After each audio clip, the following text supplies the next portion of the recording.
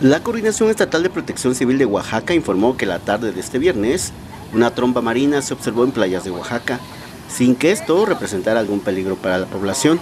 El titular de la dependencia, Eleodoro Díaz Escarra, comentó que esta actividad que se desarrolla a través de celdas convectivas mar adentro pudo observarse en las playas de Mazunte, Ventanilla, San Agustinillo y Cipolite, así como en zonas aledañas.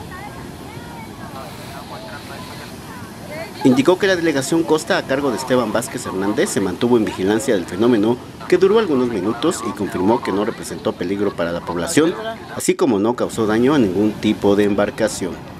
Con información de Antonio Juárez, producción de Vicente de la Cruz, Agencia Cuadratín.